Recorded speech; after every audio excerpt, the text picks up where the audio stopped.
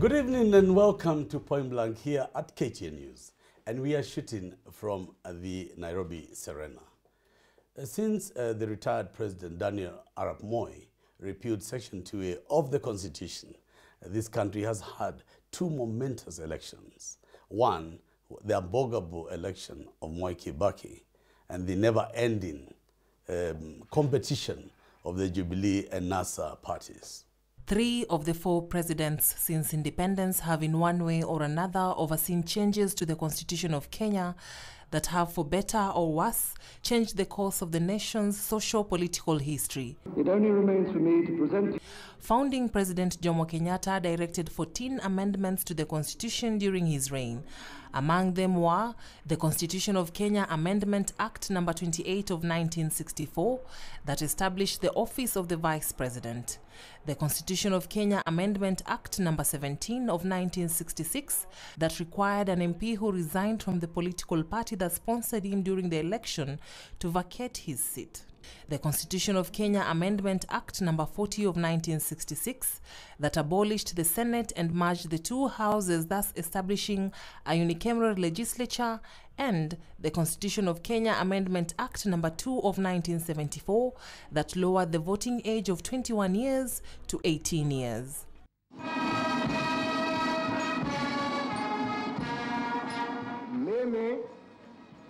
Daniel Toroitich Arap Moi Kenya's second president Daniel Toroitich Arap Moi's 15 amendments included the Constitution of Kenya Amendment Act number 5 of 1979 that required the public officers who wished to contest parliamentary elections to have resigned at least 6 months before the elections.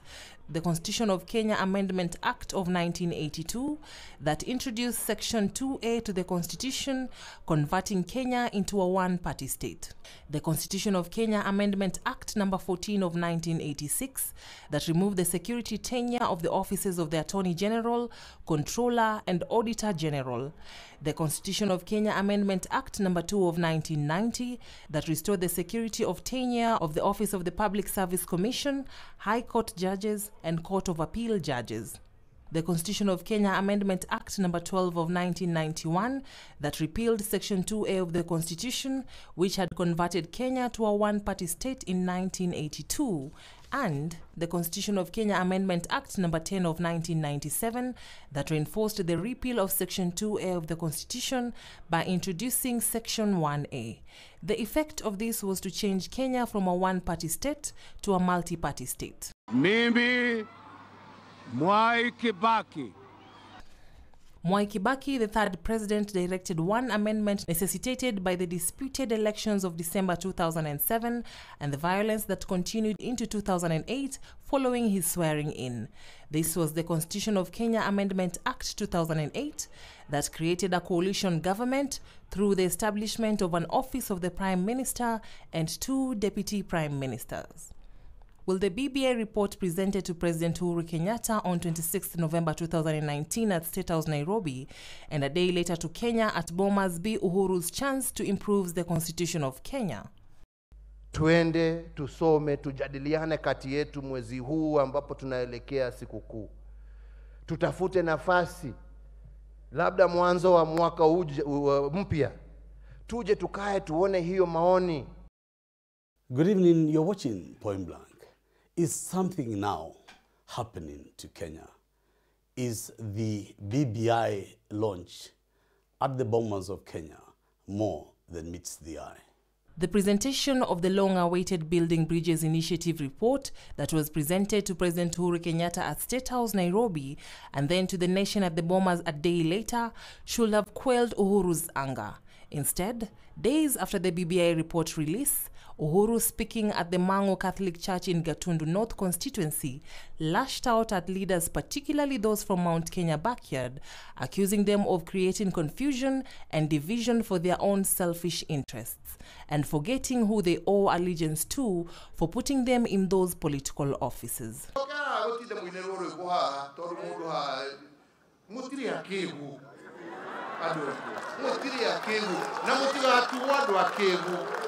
Okara no må kire må thomerwo nä må ndå atä haha aitũ akä må hå yå kä ra akä mukire muthomerwo ni mundu ati haha atä å rä a må gwä ka inyuä nä inyuä må å rä a må gwä ka na niä nä njå andå a kenya marenda thayå andå a kenya marenda å rå mwe tondå nä tå rakinya handå tå kaiga atä rä rä ciaigana nä ciaigana nä twanoga. Kana ini nä atä matinanie na mbere ya tå rute riboti. Näguo maratũire mathiũrũrũkaga mweri må gima magä tå hå yå kagä ra mũgima magĩtũhũyũkagĩra maũndũ mangĩ. Rĩu nĩyo ima u nä nĩigĩ nä barabara ngä wacio nä andå mataramenya kå rä a marathiĩ. Inyuä bata wanyu nä kå menya må gå ikara atä a ti å horo wa må tongoria nå mũtongoria nũ githĩ mũtikwenda thayũ? Githĩ rå ũrũmwe? Kana nä nĩ atĩa? Tukanyange pamoja wenzangu. Au ni namna gani? Maño, adquiriste para que vos.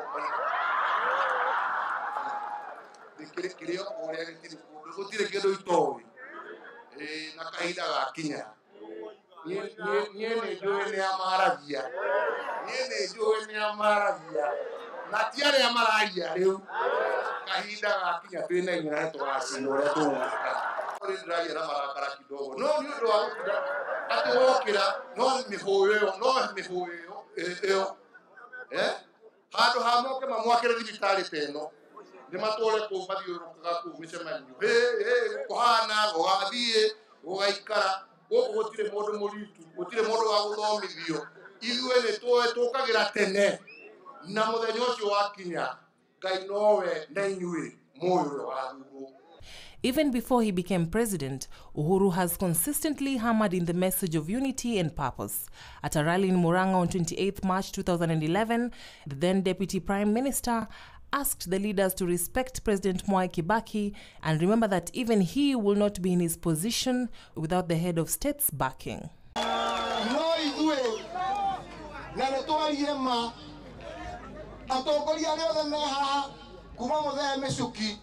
Nginya uhuru wa kenyatta ona angĩ othe me haha mathurirwo mwaka wa 2007 gũtirĩ ũngĩathurirwo angĩkorwo ndanyitĩte kĩbaki mbaru. Nĩ makaa nĩ maheni. Niĩ nĩ ngwenda tũiguithanie haha. Atongoria aya me haha atĩ ũrĩa ũtagacoka kũnyitanĩra na arĩa angĩ ũrĩa ũtekũhota kũrũmĩrĩra mũtaratara wa kuga tũrenda gũtetera andũ aitũ amenye mũthenya ũcio ciaca ciake nĩ ciathira bũrũri wa Kenya. Good evening. Political formations are quickly unraveling. Raila Odinga talks about a super alliance. Uh, William Ruto talks about entering State House at 2022. In the center of all this, Kirinyaga governor is not far from the public eye. What is Anna Waiguru up to? Anne Waigoro was one of the first Mount Kenya leaders to fully embrace the historic handshake between President Uhuru Kenyatta and former Prime Minister Raila Odinga. In her own words, Raila and her, quote unquote, first settled the history we had together and, quote unquote, announced the launch of a new friendship in the interest of national development. On 31st August 2019, Waiguru, together with women leadership from across the party divide, dubbed Team Embrace, were welcomed to the historic Tononoka grounds by Mombasa Governor Ali Hassan Joho. There, they brought to the people the message of peace and hope and support for the Building Bridges initiative. The spirit of the BBI was self evident during the recently concluded Kibra constituencies by elections. Speaking during the final campaign rally, Waiguru expressed her deep admiration for Prime Minister Raila Odinga and, following the election's results, congratulated the ODM Kibra elect MP Imran Okoth and the people of Kibra for honoring the handshake. Waiguru's position as key cog building bridges was recognized on Bomas on 27th November 2019 when she was one amongst the few called up to speak in support of the recently unveiled BBI report. Most recently, at a fundraising ceremony at Gathuruini Secondary School in Kirinyaga County, hosted by Interior Principal Secretary Karanja Kibicho, Waiguru led calls for the support of the BBI report, noting that so many benefits to the people of Kenya and that its primary goal was to unite Kenyans. Present during the function was the Interior Cabinet Secretary Fred Matiangi and Governors Hassan Joho of Mombasa, Kajiado's Joseph Olelenku, and James Ongwae of Kisii and Tharakanidi's Mudhoni Njuki. Uh, good evening. Before I speak to my guest, Waigoro, what is going on behind the scenes? Anne Mumbi Waiguru contested and won the Kirinyaga gubernatorial seat during the 8th August 2017 general elections. The first time politician coined the phrase Kirinyaga Rising, meaning it to be the first realization of a new dawn for once dormant county and relatively unknown people. From healthcare Pia tumeanzisha mradi wa kupanua hospitali ya Kirowea kutoka level 4 hadi level 5 na kuongeza vitanda kwenye wodi kutoka 250 hadi 500 ili kushughulikia wagonjwa zaidi. to water projects, to the building of modernized markets, Anne Waigoro aims for every project commissioned under her watch to uplift the lives of the people of Kirinyaga as well as serve as model beacons that can be replicated countrywide. Tukiwa katika mkondo wa siasa, tulizunguka huku Kirinyaga na tukaagizia watu wa Kirinyaga tutawafanyia kazi.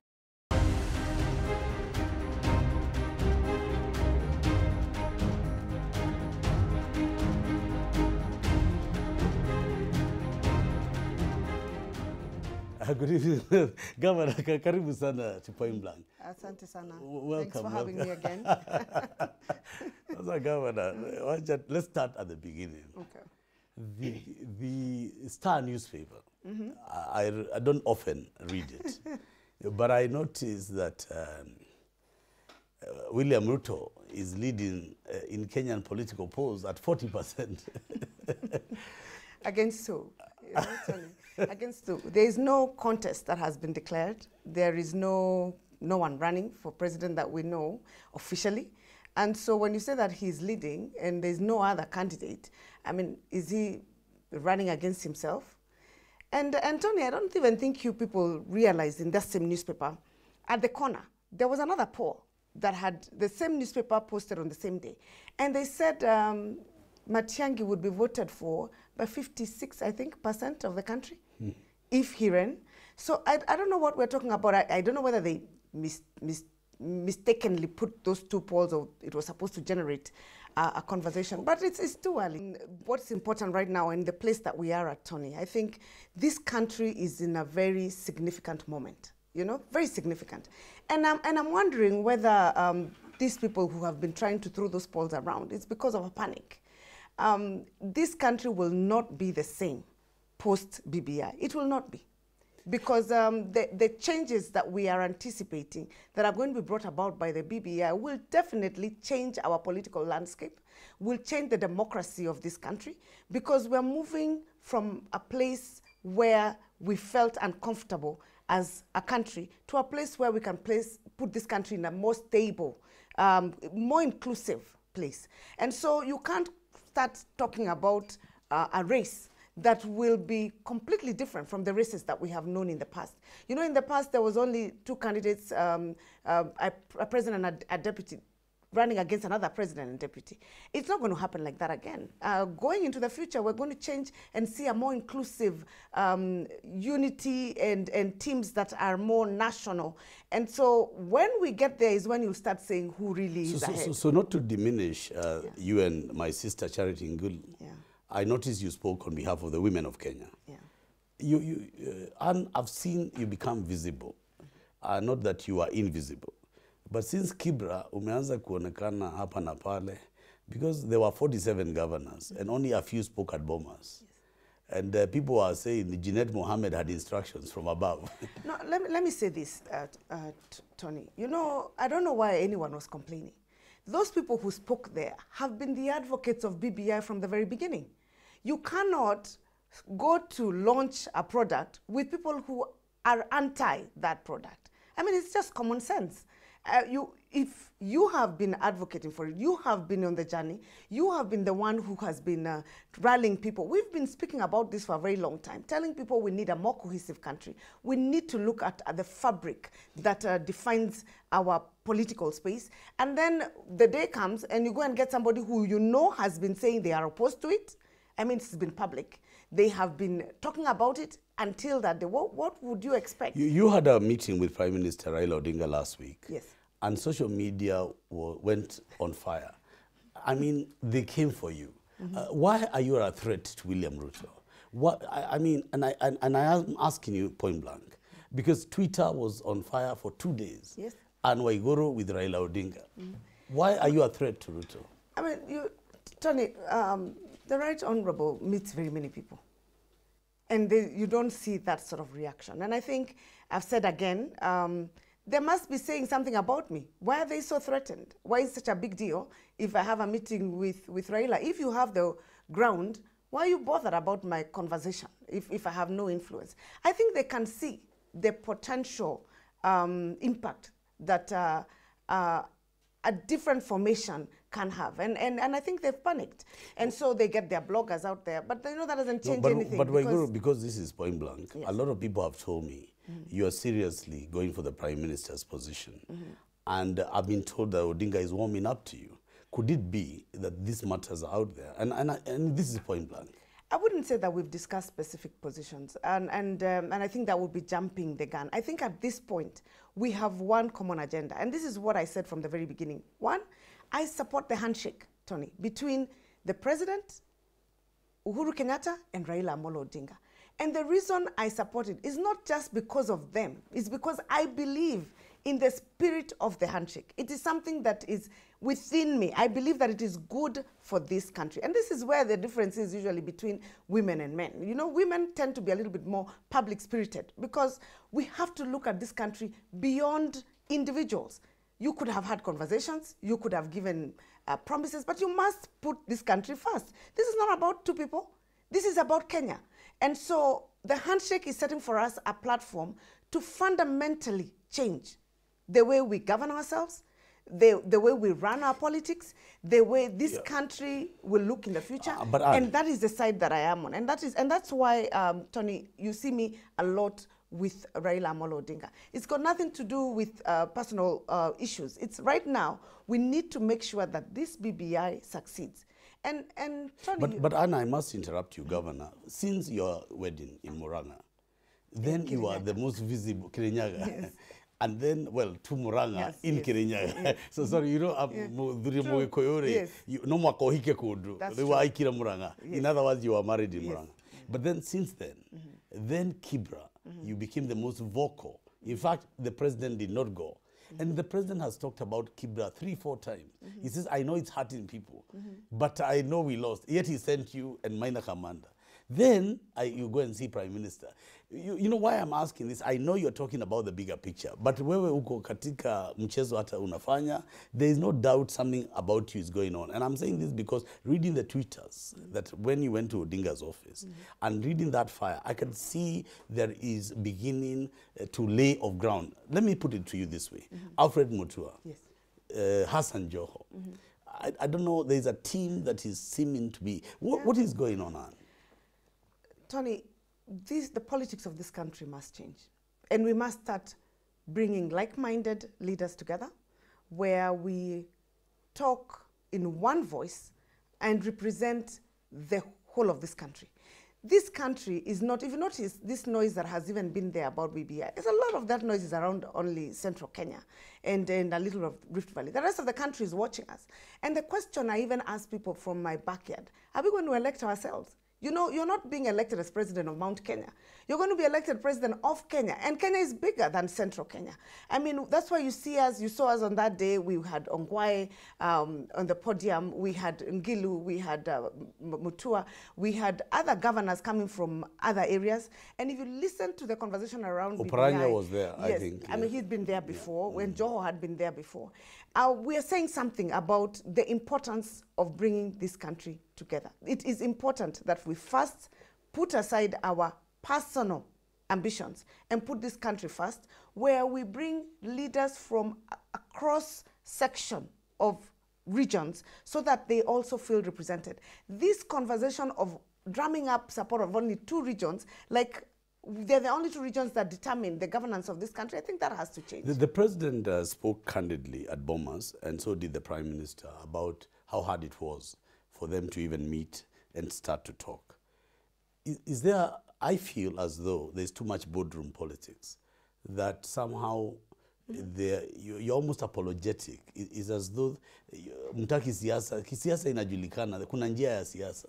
Sasa simtoke boardroom. You know, you know, Tony. Um, I have said the same thing, and you saw us in Kibra, and you've had this conversation about BBI. We actually want this conversation to move out of Nairobi. We need to get out of Nairobi. We need these boardroom conversations and uh, analysis that we're doing to get out of, of the city. Let us go to, to Mombasa. Let us go to Bungoma. Let us go to Kisumu. Let's go to Turkana. Let's hear what are the people of Isiolo saying about this document. This is not a preserve of the elite. This is about the people of Kenya. And the people of Kenya. Governor, that's give- his be interest. Are you talking about national rallies or what are you saying? I'm Well, saying whatever form it takes, the president must start getting out there. The president must go with uh, Raila Amolo Odinga and tell people what is this BBI about. Let's not be intimidated by several press conferences that are organized by a group of, of politicians. This country is bigger than them. And let the people decide. Tony, you know they had said they will oppose it. They even call press conferences, isn't it? Yes. Why did they? Why didn't they oppose it? Yeah. Because they know they will face the wrath of the Mwananchi. This document serves Kenyans, not a few individuals, serves Kenyans. And it's about time the president and Raila, because of the handshake, starts hitting the ground and going all over the country. Let us hear them in Masinde Muliro. Let us hear them in Tononoka. Let's hear them out there and let them sell this document and the future of this country. Because if we leave it to a few elite, I think they will um, cannibalize it. And then um, we will be back to square one where we are. And it's not too long before the election So, starts. so are, are, are you now saying that it's time to take it to the Tanga Tanga group? Uh, you, you, you know, Governor, we, we can't talk uh, in corners. Are- you saying enough has been said? Now, now we, we, you know, politics is real politics. let me tell you something. This document will set the foundation for politics. It is not a political document. It just happens that the politicians were attempting to capture it so that uh, they can carry out their own agenda, which was mostly to kill it. There are people who are opposed to certain proposals, and especially this proposal of the prime, minister is making people a bit uh, shaken. I, I, I don't understand why. Because um, even if you're going to lead in this country, I don't think anyone should lead by themselves. I think that is a mistake that we made. There must be checks and balances. There must be a team that is held accountable both by the parliamentary system and also amongst themselves. You have people who can check you and tell you, I think you're making a mistake here. I think part of the problems that we have found ourselves in here is because we, it has been a very closed system. So it's not so much about Tanga Tanga or Kieleweke or, uh, any other political formation. This document needs to go to the people. Let us hear what the people's view are of Governor, devolution. but Governor, I must say this. You, you know, I, I know you're very close to Kenyatta, but for Kenyatta to come out twice and just a week ago in his native language, you know, pain, you can see the president is in pain and addressing in very, very terse words that because I'm quiet, they should not think I'm a fool. In fact- Uh, Waiguru, it must hurt you to see Uhuru hurt. I, I am actually very disappointed by the leaders in, in Mount Kenya. Let me, let me say it here. Because um, if you listen to this narrative that they have gone and coined in boardrooms and come and sold to the Mount Kenya people, they're trying to show that the president doesn't have a following. The reason they think he doesn't have a following is because he's been sitting in uh, Nairobi governing a whole country. If he was to start doing politics, I think the, the ground would really change. Let me explain the, uh, the, one of the things that they have sold, one of the lies that they have sold, that um, people are not happy, which is true. Um, they, we have problems with coffee. We have problems with tea, right? Those are we have challenges out there concerning not getting our money if- as Mount, Mount Kenya people uh, where our produce is concerned.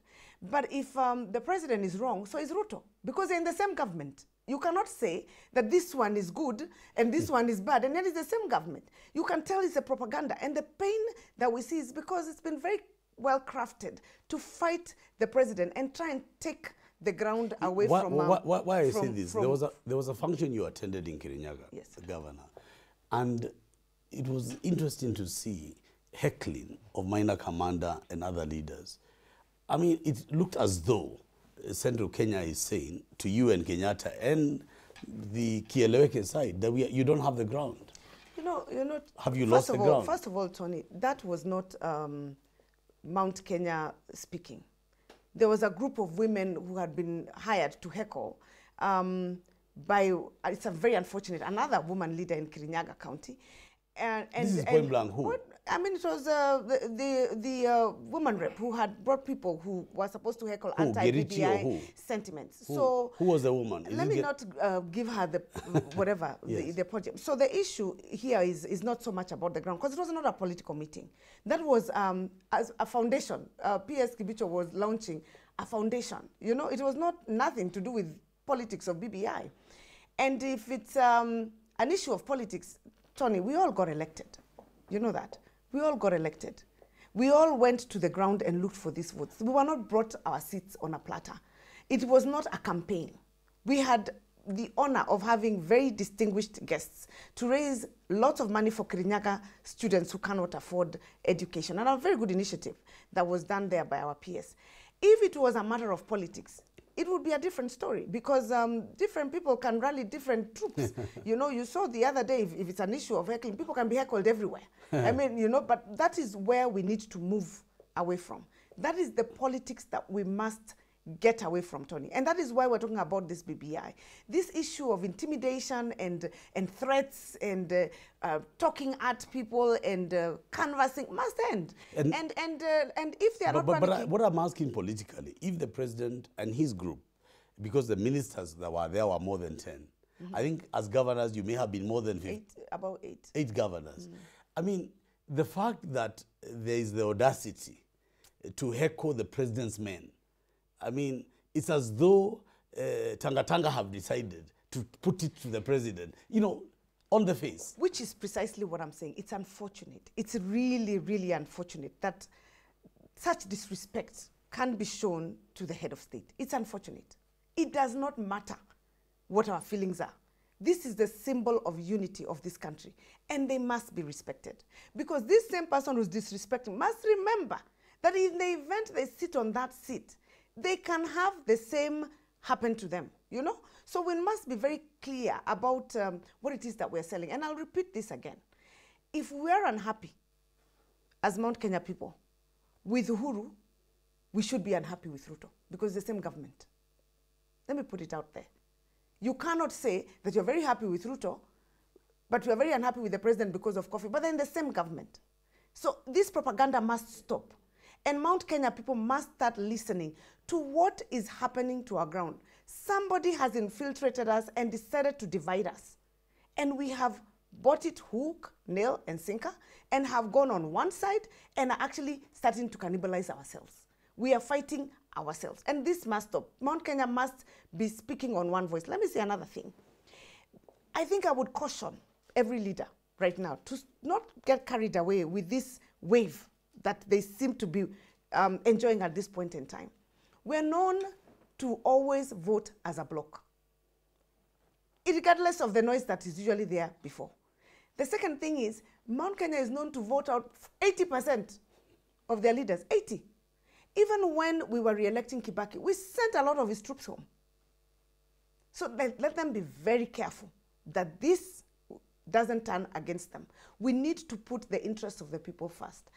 If you're sitting in an agricultural committee in parliament, if you're in the budget committee, which resources have you allocated to sort out that coffee problem and that tea problem? You can't call a press conference. And then it's really unfortunate. The minister of agriculture is sitting in a press conference complaining about coffee and, and who now if the minister is complaining and he's been hired by the president you know to resolve that problem if he's unable he should step out and let somebody else come and sit on that job and resolve the problem of mount kenya and tell us as leaders you play this role i play this role where we've reached right now even counties can't do anything it's national policy that are required the minister needs to take charge of it the mps needs to pass the resolution. If it's a debt waiver, why can't they pass it? They're the ones who allocate budgets. Why can't they just say from today we are passing a debt waiver on that coffee so that people can be able to sell their coffee at a better price? Because we know one of our issues is debt. But we keep issuing press conferences and exciting people and cheating them.